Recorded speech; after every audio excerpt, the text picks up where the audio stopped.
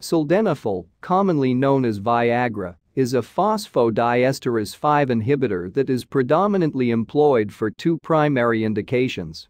Treatment of erectile dysfunction and the treatment of pulmonary arterial hypertension. Before moving on, a bit of physiology. During sexual arousal, nitric oxide is released from nerve terminals and endothelial cells in the corpus cavernosum of the penis. This nitric oxide activates an enzyme called guanylate cyclase, which converts guanosine triphosphate or GTP into cyclic guanosine monophosphate or CGMP, triggering a CGMP-dependent cascade of events. The accumulation of CGMP leads to smooth muscle relaxation in the corpus cavernosum and increased blood flow to the penis, causing an erection. Phosphodiesterase 5 is an enzyme that is predominantly found in the corpus cavernosum of the penis, and it cleaves cyclic GMP to its inactive form. Phosphodiesterase 5 inhibitors such as sildenafil, vardenafil, and tadalafil are structurally similar to cyclic GMP. These medications competitively bind to the phosphodiesterase enzyme and prevent cyclic GMP from hydrolysis, which enhances the effects of nitric oxide on penile smooth muscle cells, leading to a prolonged erection. However, since these medications do not directly act on the smooth muscle cells, an adequate sexual stimulation is necessary for an erection to occur. Phosphodiesterase 5 enzyme is also found in the pulmonary vasculature. So, these medications can also be used in the treatment of pulmonary arterial hypertension. Sildenafil is taken per orally and it is quickly absorbed from the GI tract. Peak plasma concentration of the drug can be achieved within 30 to 120 minutes.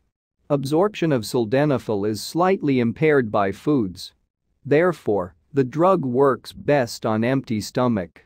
It is predominantly metabolized by cytochrome P450 enzymes in the liver. Therefore, liver enzyme inducers such as rifampicin and phenytoin will increase the levels of sildenafil in blood, whereas liver enzyme inhibitors such as erythromycin and ketoconazole will decrease blood levels of sildenafil. The drug is predominantly eliminated in feces and to a much lesser extent in urine. Sildenafil is available as 25, 50, and 100 mg tablets. Recommended dose is 50 mg, taken 1 hour before the sexual activity. It is important to know that the maximum dosing frequency is once per day. The dose can be extended up to 100 mg depending on the response. Sildenafil is well tolerated by most individuals. Mild side effects include the following. Headache. Flushing. Dyspepsia. Nasal congestion and nasopharyngitis. One of the more serious adverse effects is prolonged and painful erections, lasting more than 6 hours. Patients are advised to seek immediate medical attention in such instances. Left untreated, it can lead to permanent penile tissue damage. Another rare but serious adverse effect is visual abnormalities and sudden loss of vision. Patients should discontinue the drug and seek immediate medical attention in such situations to prevent permanent visual loss. Sudden hearing loss is also another such adverse effect that should be addressed immediately. Finally, sildenafil is contraindicated in patients who are taking organic nitrates such as nitroglycerin because the use of these drugs together can lead to hypotension. Additionally, the starting dose should be 25 mg in patients with renal failure.